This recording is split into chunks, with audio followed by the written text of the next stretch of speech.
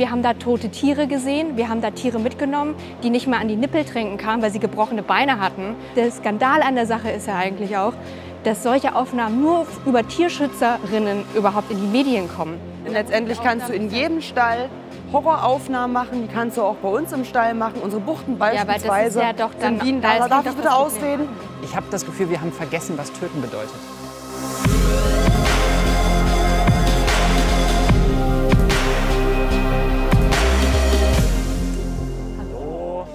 Was denkt ihr? Ist die Wurst die Zigarette der Zukunft? Im Schnitt essen wir in Deutschland immerhin noch 60 Kilo Fleisch pro Jahr. Der Trend geht aber trotzdem immer mehr in Richtung vegetarisch.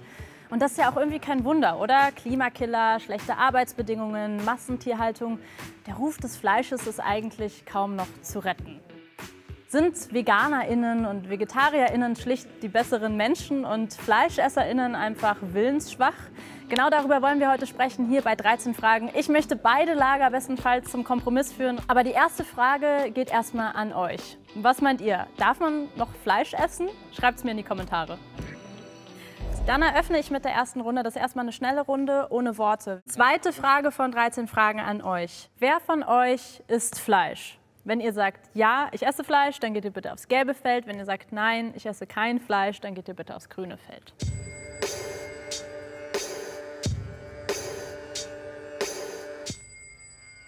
Ich esse gerne Fleisch, ähm, ab und zu jedenfalls, weil ich denke, dass es zu einer gesunden Ernährung mit dazugehört.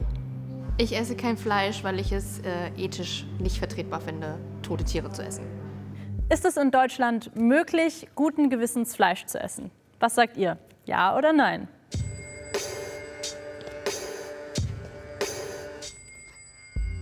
Ob etwas moralisch vertretbar ist, wer entscheidet das denn? Also ich habe meinen Weg gefunden, ich esse das Fleisch, was ich selbst erlege und habe damit ein reines Gewissen und ja, freue mich über das, was ich bei mir auf dem Teller habe. Fleisch essen muss heutzutage eigentlich niemand mehr. Wir leben in so einer privilegierten Gesellschaft und Situation. Es geht darum, dass wir im Hier und Jetzt sofort damit aufhören können.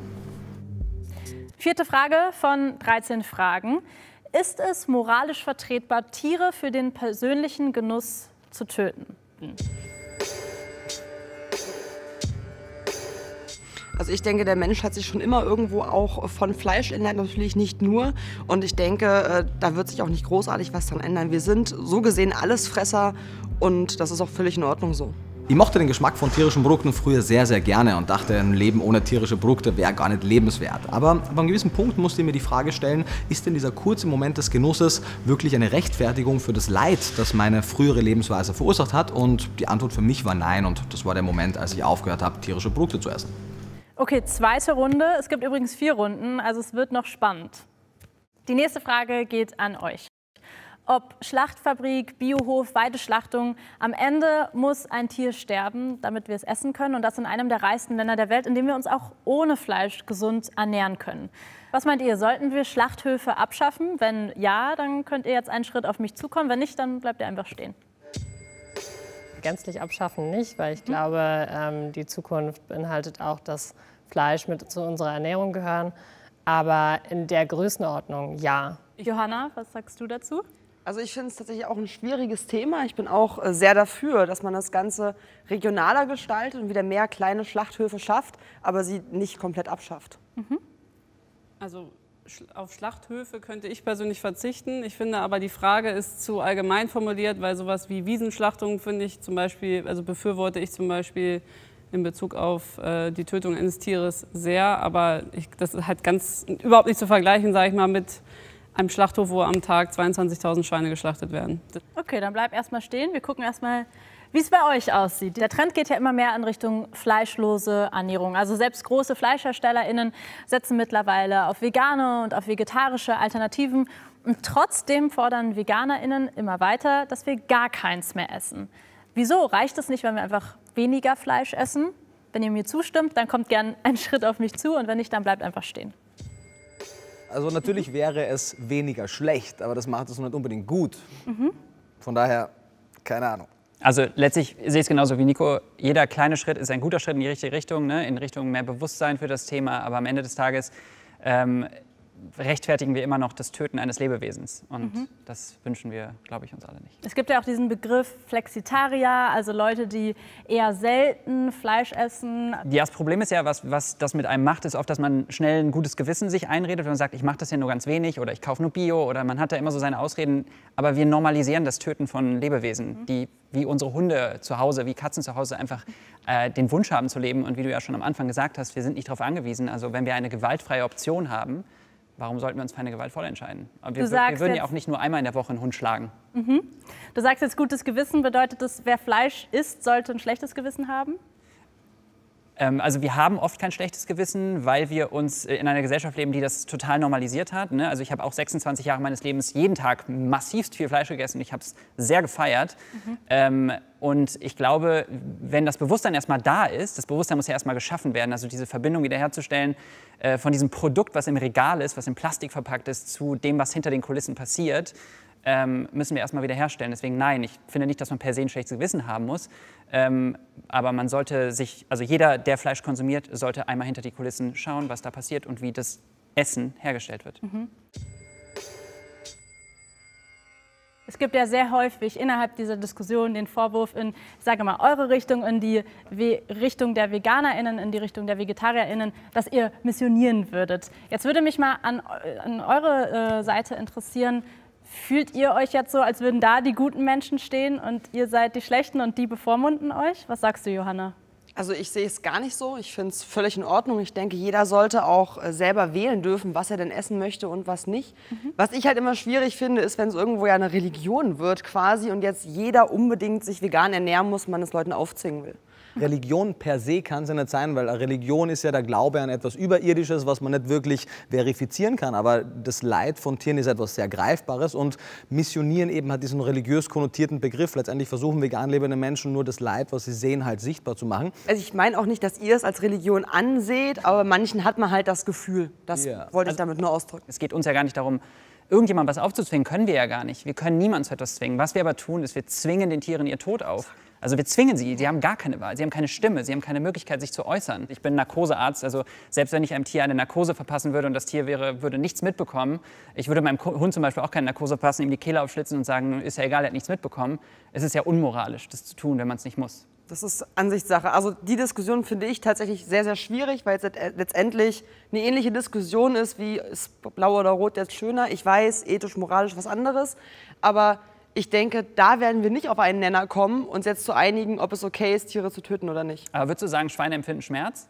Natürlich. Haben Schweine den Wunsch zu leben? Mit Sicherheit. Warum sollen wir es ihnen nehmen? Weil wir schon immer uns auch von Fleisch ernährt haben, schon immer Tiere getötet haben. Ja, wir haben vieles schon für immer gemacht, oder? Was wir heute als unethisch ansehen. Oder würdest du sagen, dass die Menschheit in den letzten 10.000 Jahren nur Dinge immer schon gemacht hat, die in Ordnung waren und dass wir niemals an einem Punkt gesagt haben, hey, was wir schon immer getan haben, ist doch unethisch und wir ändern es? Natürlich nicht, aber letztendlich Thematik Wolf. Der Wolf ist ja so gesehen auch unethisch. Der fragt das Schaf ja, oder ähnliches vorher auch nicht. Darf ich dich jetzt bitte töten? Ja, der Mensch unterscheidet sich also ja von der Mensch unterscheidet sich ja von nichtmenschlichen Tieren, weil er über eine Moral und Ethik verfügt und sich seines Verstandes bedienen kann. Und das ist das, wo wir sagen, wir sind quasi besser als Tiere, weil wir stellen uns ja an die Spitze der Nahrungskette. Ich finde es teilweise schwierig, wenn, wenn mir jemand sagt, ich esse äh, zum Beispiel gerne alle zwei Wochen ein Stück Fleisch aus guter Haltungsform und, und finde es ähm, schwierig, wenn mir jemand sagt, hey, äh, das, was du machst, ist ganz, ganz schlecht. Ich glaube nicht, dass wir ähm, etwas in der Gesellschaft bewegen, wenn man mit einem erhobenen Zeigefinger kommt. Ich glaube, das geht nur, ähm, wenn man den Leuten Alternativen aufzeigt und, und das nicht verteufelt, was die sagen. Klar, äh, das Thema, hey, wir haben schon immer äh, Tiere getötet und, und dass es nicht unbedingt gut ist, ist auch ein anderes Thema. Aber ähm, das ist Kultur. Das ist ein Stück weit Kultur, dass wir Tiere essen. Und ähm, das werden wir auch nicht äh, easy und ganz schnell wieder rauskriegen. Da können wir gleich weit weiter drüber diskutieren. Ja, bitte. Wir haben noch äh, genug Zeit dafür. Ich möchte gerne die nächste Runde eröffnen. Und da ist auch Zeit für eure persönlichen Erfahrungen. Die siebte Frage geht an dich, Johanna. Deine Schweine, die haben 30 Prozent mehr Platz als gesetzlich vorgeschrieben, also ein Quadratmeter pro Schwein statt 0,75 Quadratmeter pro Schwein. Dir ist es also schon auch wichtig, dass es deinen Tieren gut geht. Würdest du denn sagen, dass du sie artgerecht hältst? Auf jeden Fall. Also ich stehe voll hinter dem, was wir auf dem Betrieb tun. Sonst würde ich so nicht machen, würde ich nicht dahinter stehen. Ähm, Artgerecht finde ich tatsächlich immer schwierig. Äh, ich bin der Meinung, auch die Katze in einer Einraumwohnung wird nicht artgerecht gehalten. Artgerecht wäre tatsächlich, äh, wir machen den Stall komplett auf, bauen auch keinen Zaun, sondern lassen sie wie die Wildschweine draußen rumrennen. Äh, funktioniert aber nicht so ganz. Vor allem auch nicht bei den äh, grob 3500 Schweinen, die wir am Tag brauchen, in Berlin, also nicht brauchen, aber aktuell konsumiert werden in Berlin. Das funktioniert nicht. Dementsprechend brauchen wir irgendwo Ställe und da finde ich unseren schon wirklich sehr, sehr schön. Es ist nicht nur der Platz, der mehr ist, wir haben mehr Licht im Stall, wir haben Beschäftigungsmaterial, Stroh, Minimaleinstreu und ich ja, stehe da voll dahinter, auf jeden Fall. Was sagt ihr dazu? Bewegt euch das einen Schritt nach vorne? Auf gar keinen Fall. Also du hast es ja gesagt, äh, die Tür aufmachen und dann äh, in Freiheit. Und die Tiere werden ja auch dafür gezüchtet, damit man sie dann eben über einen kurzen Zeitraum einsperrt, eingesperrt hält, mästet und dann eben für den Verzehr schlachtet. Ich habe das Gefühl, wir haben vergessen, was töten bedeutet. Mhm. Also ich habe manchmal so ein riesen Fragezeichen beim Kopf und Korrekt. Achso, du, äh, ich, Ah, ich, ja, okay. Da wurde sich bewegt. Warum? Ja, weil das definitiv der Fall ist. Also ich würde mal behaupten, dass 90 Prozent äh, der deutschen Einwohner überhaupt keine Vorstellung davon hat, wie ein Tier lebt, gehalten wird, transportiert und geschlachtet wird. Und ähm, da bin ich mir, also da bin ich mir sehr, sehr sicher. Ich brauche dafür nur in meinem Freundes- und Bekanntenkreis rumgucken. Ähm, für die ist halt ein Schnitzel oder eine Hühnerbrust aus dem Supermarkt nehmen das gleiche, als ob sie einen Joghurt nehmen oder ein Müsliriegel oder sonst irgendetwas. Da ist kein großer Unterschied und die wissen auch nicht, was dahinter steht. Und dass wir so weit weggekommen sind von der Tötung, oder nicht von der Tötung, von dem Wissen, was eine Tötung heißt und was es vor allem bedeutet, wenn wir jetzt auch dieses Putensteak kaufen und nach einer Woche Müll schmeißen, weil ähm, ist halt abgelaufen, schade drum. Das ist, ähm, finde ich, sehr erschreckend, ehrlich gesagt, dass das in Deutschland so passiert ist. Und sehe da auch einen großen Fehler irgendwie im Bildungssystem bei uns. Johanna, du nickst auch und bist auch einen Schritt nach vorne gegangen. Ich sehe es genauso. Also wir müssen definitiv, äh, gerade wenn es um Fleisch geht, wieder bewusster essen und uns klar machen, äh, dass natürlich äh, für dieses Stück Fleisch ein Tier gestorben ist. Ähm, und das finde auch ich sehr, sehr wichtig. Äh, sagt es auch Leuten immer wieder gerne, kommt, guckt euch unseren Stall auch an. Äh, wenn wir für uns zu Hause schlachten, guckt euch das meinetwegen auch mit an. Alles kein Problem, weil es wirklich wieder bewusster werden muss. Äh, wie, also gehe ich voll mit, klar.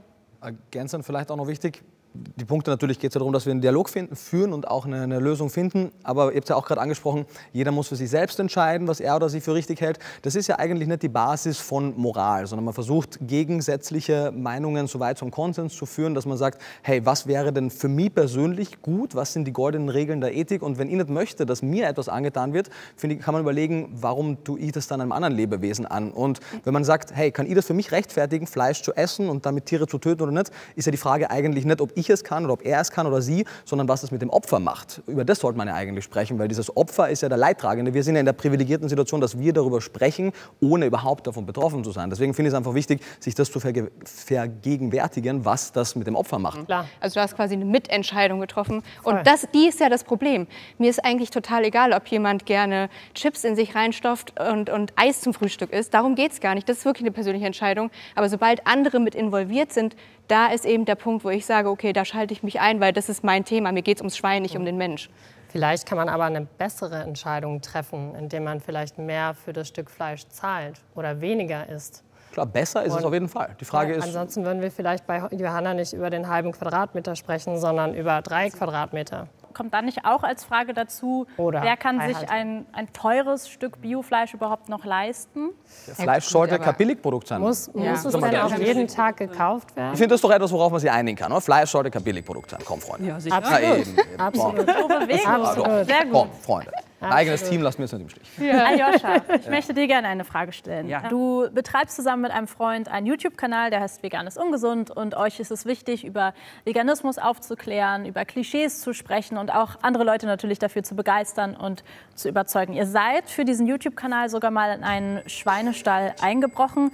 Was kommt dir denn da als erstes in den Kopf, wenn du an diesen Tag denkst? Also ich weiß, dass ich bis zu dem Punkt, als ich vor dem Schweinestall stand, ähm, sehr aufgeregt war, weil ich nicht wusste, was mit mir passiert. Also ich habe irgendwie gedacht, oh, was, mal gucken, was das mit mir macht. Und dann, äh, als ich die Ferkel ähm, gehört habe, ähm, äh, muss ich sagen, äh, habe ich echt einen Kloß im Hals gehabt. Und das Erste, was ich weiß, als ich reingegangen bin, ist, dass äh, tatsächlich ein totes Ferkel auf dem Boden lag, ähm, in der Mülltonne neben dem Eingang. und äh, der Gestank. Ähm, also es war einfach so ein unfassbar beißender Geruch von Ammoniak in der Luft ähm, und ich habe einfach ähm, mich ein bisschen machtlos gefühlt. Ähm, ich habe einfach diese Tiere gesehen und wie gesagt, ich habe einen Hund zu Hause und ich habe überall meinen Hund gesehen, mhm. weil das alles noch Babys waren. Und darüber stand ein Schild, wie viele tot sind und wie viele noch leben. Ich habe immer noch Schwierigkeiten, also ich habe tatsächlich immer noch ein bisschen Schwierigkeiten, das zu verarbeiten. Ich merke auch, dass ich das oft verdränge im Alltag, weil letztlich ich kann in der Situation nichts ändern und damit muss ich leben. Alles, was ich machen kann, ist, so gut es geht, darüber zu sprechen, aufzuklären. Und am Ende des Tages geht jeder Mensch nach Hause und entscheidet sich, was er sich auf den Teller packt oder nicht. Mhm. Johanna, was denkst du denn dazu? Also äh, wir selber halten keine Sauen, wir äh, haben Masttiere bei uns im Stall, aber allein schon diese Stalleinbrüche finde ich einfach unter aller Sau, denn letztendlich ist es ein Hausfriedensbruch, was so nicht funktioniert. Ähm, ich bin der Meinung, ich kenne viele Landwirte, wir selber machen es genauso. Einfach mal durchrufen, eine E-Mail schreiben, WhatsApp, was weiß ich. Hey, ich bin's, kann ich mir mal euren Stall angucken, überhaupt kein Problem. Aber diese Stalleinbrüche gehen für mich einfach gar nicht. Also, also letztendlich kannst du in jedem Stall Horroraufnahmen machen, die kannst du auch bei uns im Stall machen. Unsere Buchten beispielsweise ja, ja sind wie ein, da darf ich bitte ausreden, sind wie ein U aufgebaut. Da stelle ich mich nachts rein, klatsch in die Hände, die laufen alle in eine Ecke, da mache ich ein Foto und habe Massentierhaltung und Tiere dicht gedrängt. Dass eigentlich der doppelte Platz da ist, äh, sagt mir keiner. Genau das ist auch das Problem bei den ganzen Dokumentationen. Horroraufnahmen kann ich überall machen. Ja, also, das ist aber, das stimmt aber nicht. Ich habe sowas auch schon gemacht. Nee, das stimmt nicht. Und ich, so, ich war auch schon mal in einem Betrieb, Kaninchenmastbetrieb. Und Nachts oder offiziell? Nachts, nicht offiziell. Ja, wir haben da tote Tiere gesehen. Wir haben da Tiere mitgenommen, die nicht mal an die Nippel trinken kamen, weil sie gebrochene Beine hatten. Und da kann mir auch, da geht doch auch keiner durch. Da liegen teilweise Tiere. Es gibt Aufnahmen. Und das, der Skandal an der Sache ist ja eigentlich auch, dass solche Aufnahmen nur über Tierschützerinnen überhaupt in die Medien kommen. Und die Aufnahmen gibt es ja, dass da tote Tiere wochenlang zwischen Lebenden liegen. Das genau, legt ja keiner dahin. Aufnahmen, wo tote Tiere mit in die Betriebe genommen werden. Es mag sein, wir haben definitiv Betriebe, in denen haut es nicht hin. Da gebe ich euch vollkommen ja. recht. Aber andere Betriebe schlecht zu machen, die ordentlich arbeiten, weil tote Tiere mit in die Stelle genommen werden, um entsprechende Bilder Hast zu machen. Hast du dafür Beweise? Also erstmal möchte ich ganz kurz sagen, dass bei uns, also zwei Sachen. Erstens, bei uns im äh, Stall wurden über zwei Wochen Aufnahmen gemacht mit versteckter Kamera.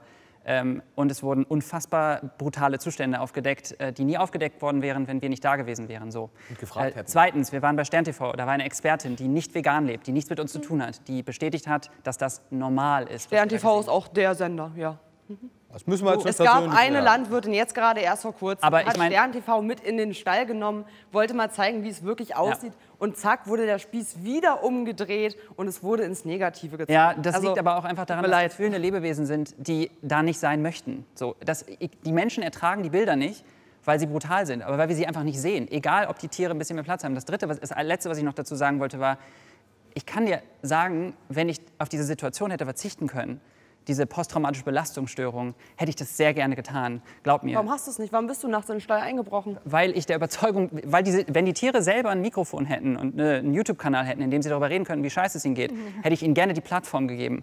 Aber das ist ein bisschen so, weißt du, wenn, wenn das ein Haus, das, und das ist das Ding, was ich nicht verstehe, wenn, wenn das voller Hunde gewesen wäre, die Leute wären auf die Straße gegangen. Also ganz ehrlich, guck dir mal manche Hunde an. Es gibt Leute, die halten Husky in einer Einraumwohnung. Aber das macht ist das auch ja nicht besser. Das hat ja damit ja. nichts zu tun. Ne? Also, also da gibt es genauso schwarz. Ja, aber das ist ja Whataboutism. Wir sprechen ja jetzt gerade über Schweine genau. und wir sprechen über Massentierhaltung und wir sprechen wir nicht aber über Problem, einzelne aber Betriebe.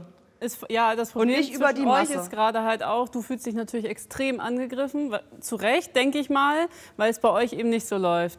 Und ich weiß nicht, wie seid ihr denn zum Beispiel ich auf den... Ja nur, ich habe ja nur berichtet, also ich habe ja noch nicht mal mit dir gesprochen, ich habe nur berichtet, was ich da gesehen habe. Es geht mir auch nur um den Ja, aber ihr verallgemeinert, aber auch. Also ihr, ihr sagt halt auch, das ist halt Standard, das ist normal und so weiter. Und das hat halt keiner halt gesagt, oder? Ja, also das ist, also es ist natürlich standardisiert. Massentierhaltung ist standardisiert. Ja, das nee, ist ja aber auch die, so. Aber könnt, ihr denn, nein, könnt ihr denn verstehen, dass sie sich davon angegriffen fühlt, von dieser Formulierung, dass es standardisiert ist, weil sie sich Mühe gibt, dass es bei ihr anders ist? Ich kann das verstehen auch, dass du dich persönlich angegriffen fühlst, weil das ist dein Daily Business und vielleicht magst du die Schweine auch, trotzdem gehen die am Ende auf die Schlachtbank. Und das finde ich zum Beispiel moralisch verwerflich.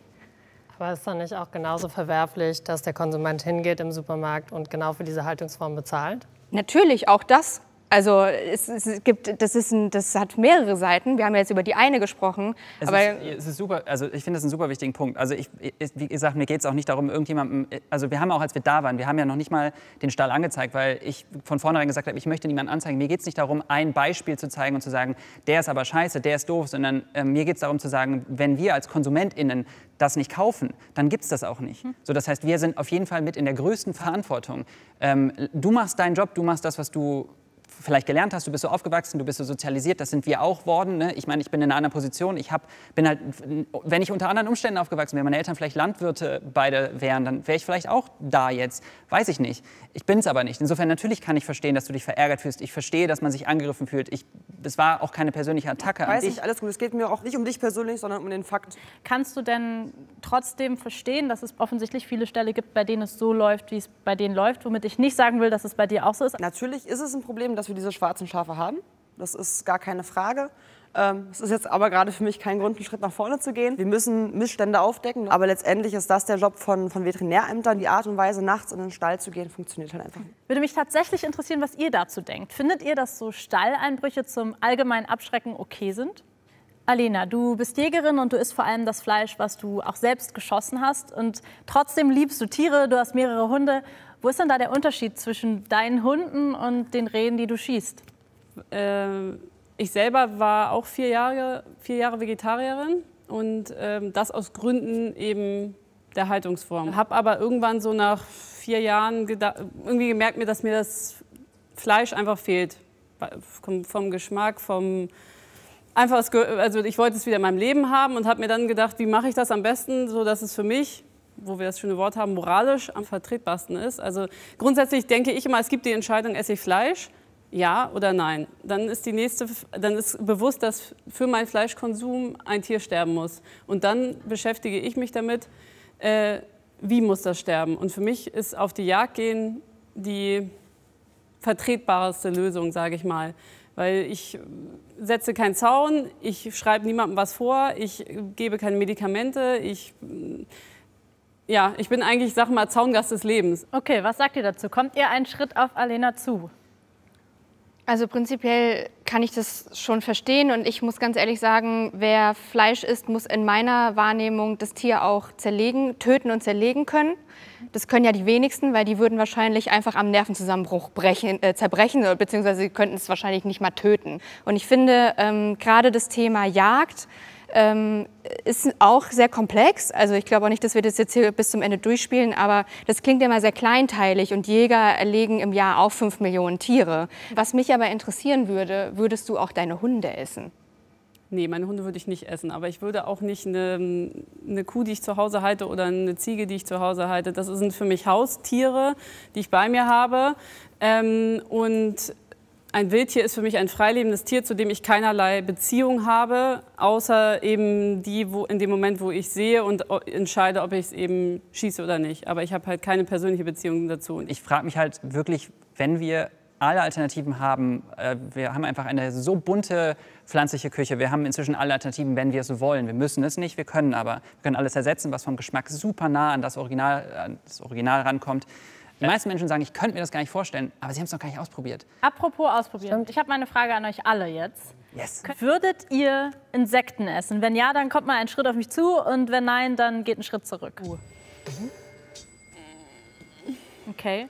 Marlo, dein Unternehmen Chihuahua verkauft vegane Fleischersatzprodukte, aber auch Produkte aus Insekten. Würdest du sagen, dass Burger Patties aus Käfern und Würmern die Lösung der Zukunft sind? Es ist ein Teil der Lösung, um ehrlich zu sein. Ähm, ich glaube, dass die Zukunft äh, durchaus hauptsächlich vegan aussehen wird.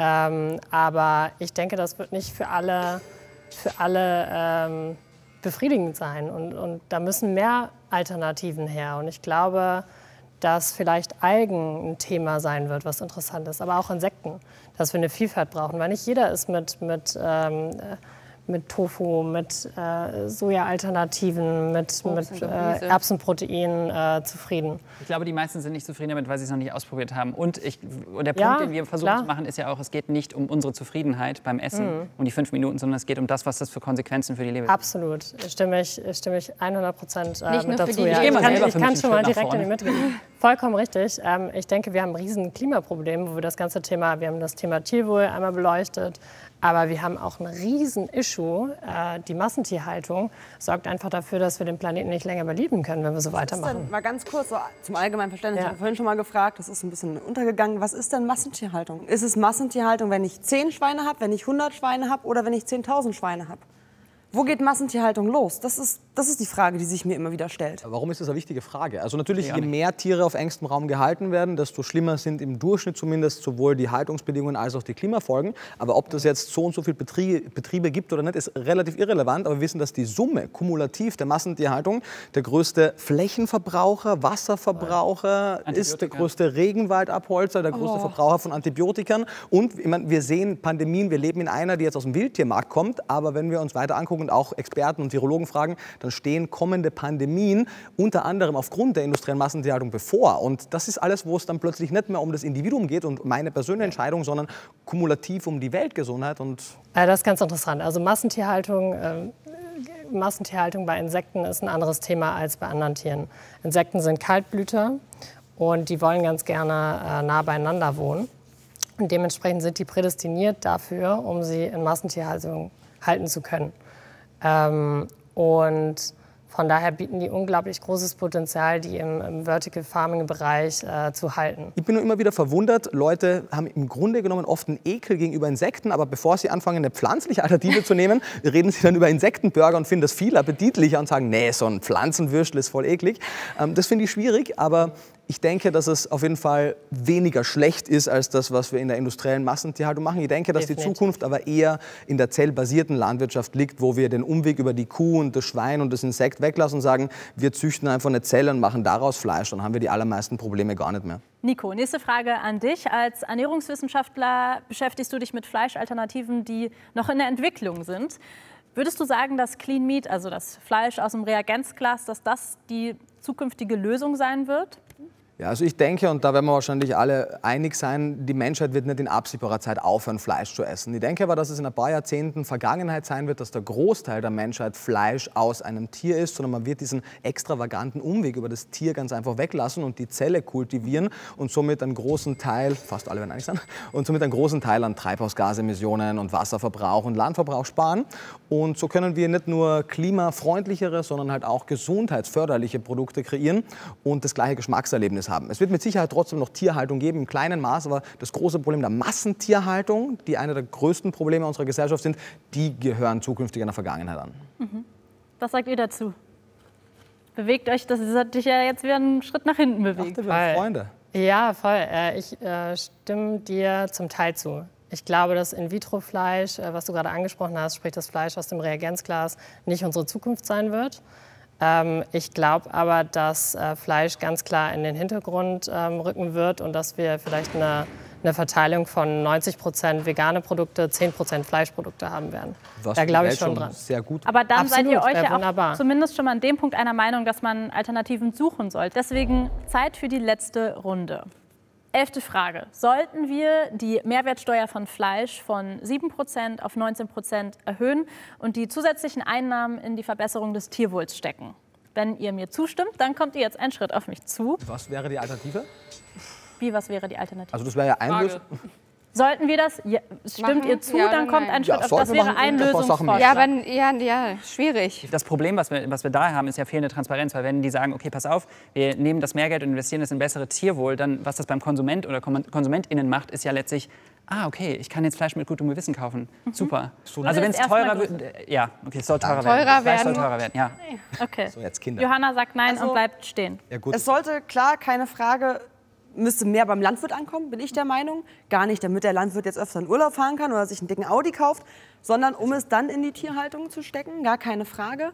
Ähm, mit einer Steuer finde ich das schwierig, das, da bin ich sehr, sehr skeptisch, dass es funktioniert. Warum? Und warum? Weil du das so zweckgebunden nicht verteilt bekommst, bin ich der Meinung.